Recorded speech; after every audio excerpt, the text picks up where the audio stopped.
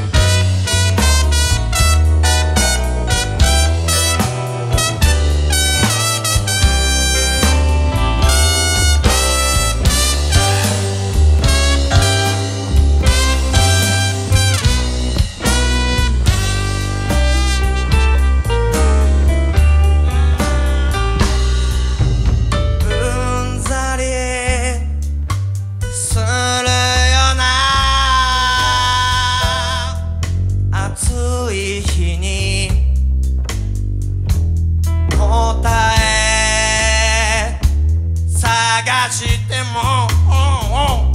何も浮かびやしないよ。